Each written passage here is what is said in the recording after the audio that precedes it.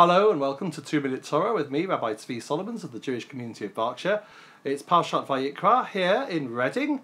Um, Friday night service, uh, Shabbat comes in at 20 minutes to 7. Uh, the service will be at 7 o'clock. Then uh, tomorrow morning there's a service at half past 9. That's uh, Jacob I, an informal service. And Shabbat goes out again tomorrow at 26 minutes past 8.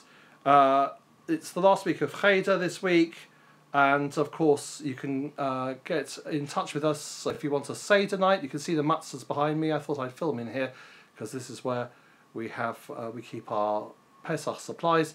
Um, you can get in touch with us for Seder on JCoB.org. That org. That's jcob.org. Um, first Seder night is on Monday the 10th of April. There'll be Fast of the Firstborn, uh, a service uh, followed by a Siyum. If you're a firstborn, I am, and so is my son. So uh, you can do that. And of course, there's a Just Kosher delivery. If you want to get food from Just Kosher, that's the uh, local deli that delivers here, Kosher Deli in Bournemouth that delivers here in Reading. Uh, you need to be in touch with them and you can order online. Parshat Vayikra, uh, God calls to Moses.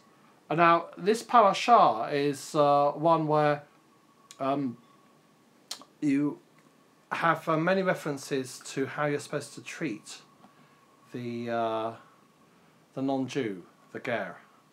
Uh, how many times do you, uh, does it say that you've got to be decent to someone who isn't Jewish?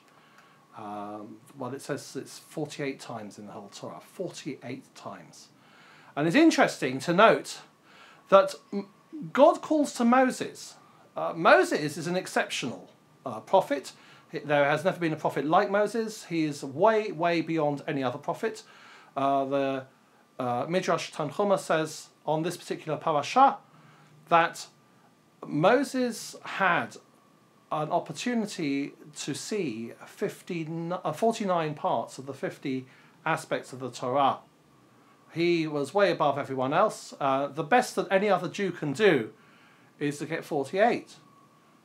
Uh, the hint in the Torah is that if someone really, really desires, they can get that 48. Even if they're not Jewish, if they can become Jewish, they can get close to God, they can get the 48 parts of understanding of God's nature and the Torah that any Jew can get by becoming a Ben Avraham Avinu, this is uh, these are the words, by the way, of the Ishbitzer Rabbi, uh, the Mei HaShiloach, uh, and uh, he says that you can get close to God by doing this. The greatness of Moses, of course, is that uh, he got 49 out of 50, not uh, merely the 48 that everyone else is able to, to gain.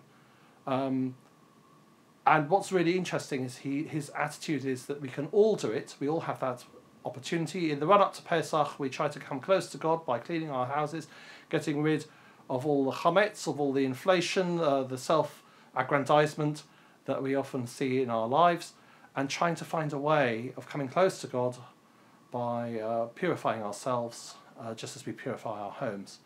I wish everyone Shabbat Shalom.